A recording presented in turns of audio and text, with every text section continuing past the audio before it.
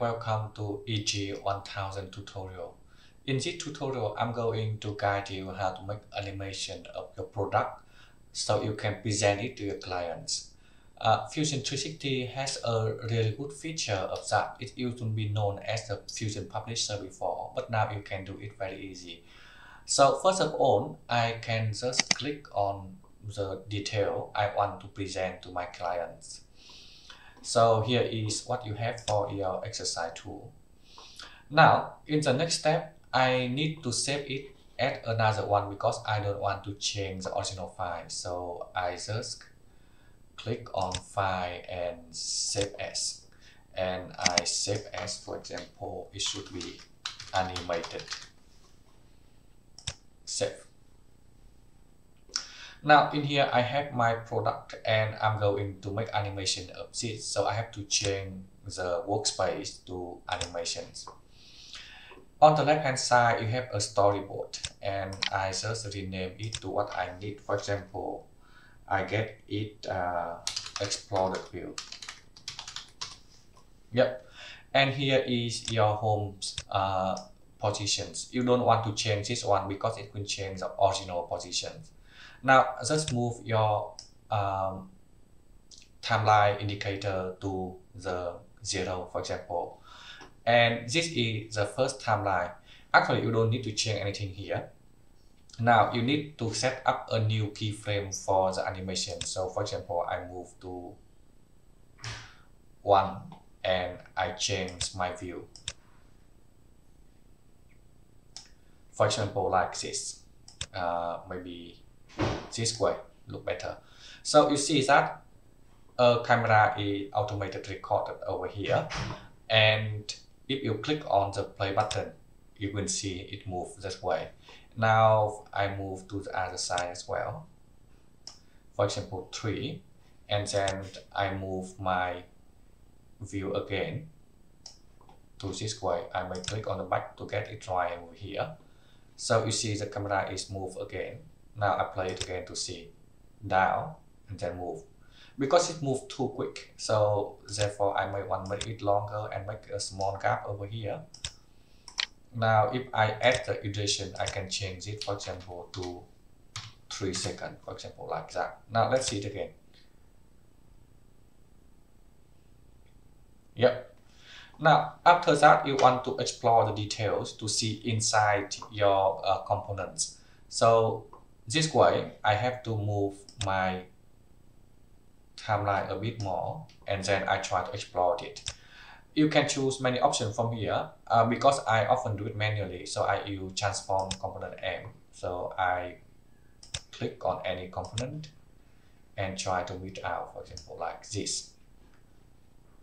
Okay, to confirm, transform the component again, click on this one and move it out. And okay and click on this one transform component again and move it down for example like that. So I need to change the view a bit to centralize my uh, details. So maybe like that a bit further down this way. Okay and click on ok to confirm now you have to move it because it's all way backwards so you have to move it forward a bit this way and this way. Now we can have a look. You see? From beginning, change and move away. Yep.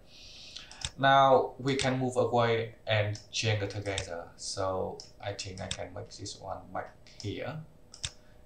And I set the duration to 6.5, so it should be 2 seconds. Yep. Now in the next step, right the next step, I want to make the unnecessary detail disappear. So I move to just one keyframe forward and then I open my component, animated component. I make the bay disappear, the bracket disappear. Yep. And then I move forward about one second and then make the roller bigger. Yep, and move forward two seconds to explore this one. Now I transform my bush this way, the other bush, the other way, and my roller to be out. Uh, I think I need to zoom in a bit bit, otherwise I can have enough space for everything. So this one this way, and this one this way.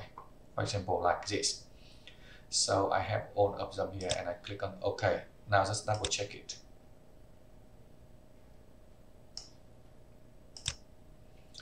Move in, get all of them out.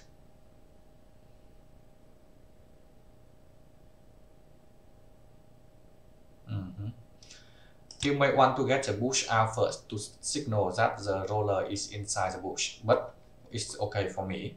Now, in the next step, I make the other things disappear as well, so I don't need the bushes, and I don't need the roller. I try to focus on this one. Okay, and next step, I zoom in the spindle. So change the camera view and make it bigger like this. And then in the next step for example this way I rotate to see the hole yep.